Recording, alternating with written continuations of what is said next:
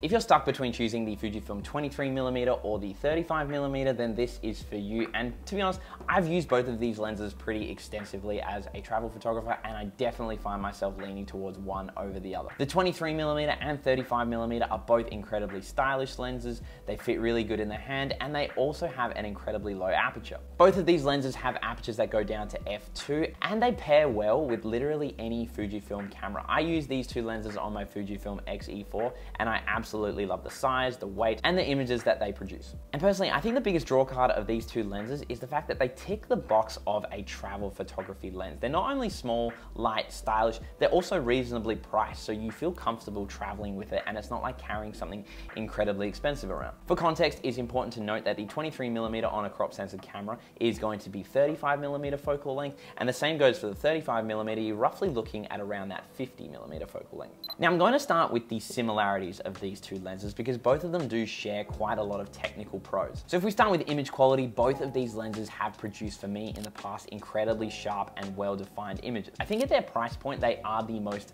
valuable Fujifilm lens that you can get right now. And especially when you compare these two prime lenses to other camera brands like Sony and Canon, it's really difficult to find a high performing Sony lens at this focal length that's gonna produce the types of images that this one can.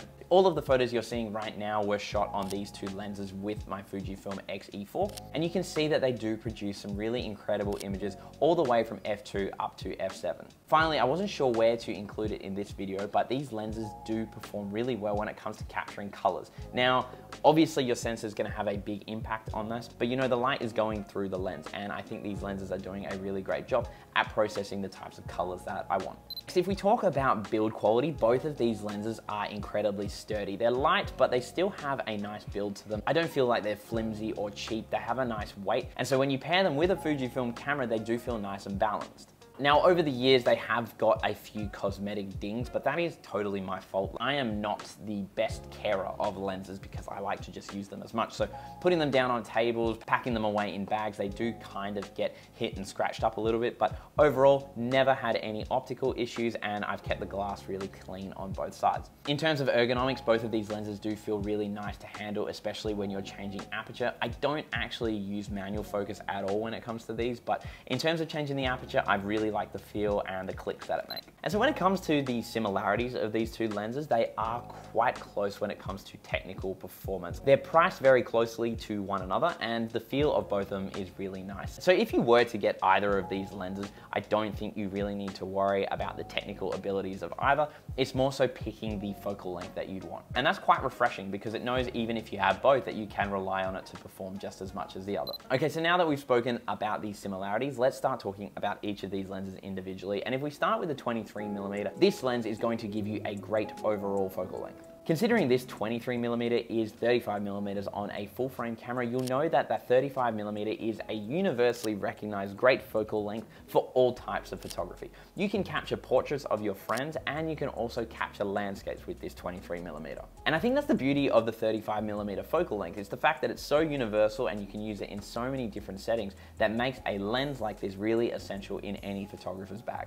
I'd often go days where I just have this 23 millimeter on my camera because I know I'm gonna be photographing a bunch of different scenes and that a 35 millimeter or a zoom isn't really going to achieve. So if you are someone who really only wants to use one lens and you have no interest in owning two, the 23 millimeter is going to be a lot more of an all-rounder for you. This is great as well if you're not sure the types of scenes you're going to be photographing. Now in saying that, there have been a few occasions where this 23 millimeter is a little too wide. And so if you are a photographer who enjoys capturing details and quite compressed images, the 23 millimeter focal length and this lens isn't probably going to be the best option for you. You have to get really close to your subjects to fill the frame with this lens. So if you are a fan of close-up portraits, really detailed shots, I would definitely consider the 35 millimeter over the 23 millimeter. There have been multiple times where I've had this on my camera and wished I had something a little bit tighter because I can't physically get closer to the subject, nor do I like the effect that this creates. It doesn't have that compression and it's just a totally different feel. So that is something important to consider for you and your photography. Just remember what kind of photos you want to be taking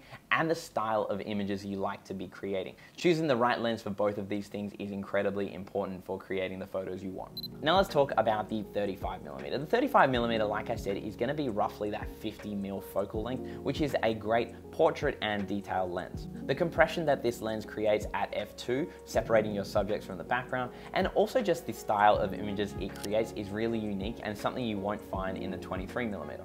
The 35mm lens will create photos that clearly look like it's been taken on a camera.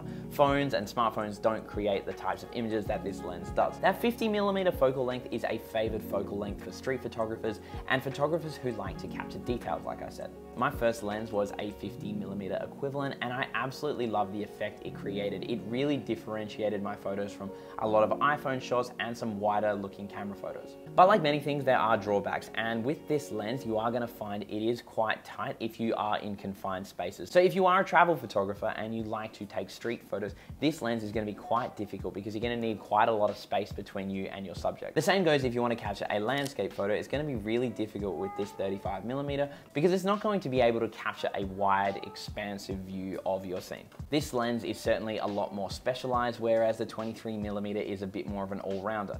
The perks of this specialized lens is you do get that look that the 23mm won't offer, but you do need to live with the fact that you might not be able to capture everything you want. And so this leads us to my personal decision and why I do favor one of these lenses over the other. If you've made it this far, you've probably worked out my style of photography lends itself better to wider compositions, and that's why I would usually choose the 23mm over the 35mm. The reason I have both though is because of the pros I mentioned in the 35mm section. I love the look of photos that this lens creates. They're unique, they're compressed, and there's something I can't achieve with anything else. But if you said to me, Matty, you need to have one lens and you need to recommend one lens, if you are a beginner photographer and you're just starting out in Fujifilm photography, I would recommend the 23mm because it's going to give you a much broader opportunity to take amazing photos. If you did get the 35 millimeter at the beginning, you will find it is a little bit too tight and you don't have enough room in your frame to get everything you want. And on the other hand, if you are a photographer and you know that you don't like shooting super wide, then the 35 millimeter is a great option. Just remember that this lens is more geared towards portraits and details. But if I had to have only one lens in my entire kit for my Fujifilm camera, it would be this 23mm. And lastly, I wanted to just wrap this up with a few suggestions when it comes to buying a new lens. If you are unsure about this lens, you can usually go to a local camera store and rent a lens for the day. You're way better off spending $50 to rent than it is investing the whole amount in a lens you might not like. Alternatively, if you feel you're not ready for a prime lens, maybe look at the 18 to 55 millimeter and get an idea of which focal length you prefer. The 18 to 55 millimeter is a zoom and a great all-rounder lens. It's definitely not going to produce images of the same quality as these two, but it will give you the opportunity to try out 23 millimeter look and 35 millimeter look on that kind of camera. So overall, I hope this helped clear up any confusion about these two lenses. Just remember, the 23 millimeter and 35 millimeter are both technically very similar. You're going to get a very similar quality of image from both lenses. So it's up to you to decide what focal length you want based on the types of images you want. If you do end up deciding on the 23 millimeter, I have created a full review on that lens above, so be sure to go check that out.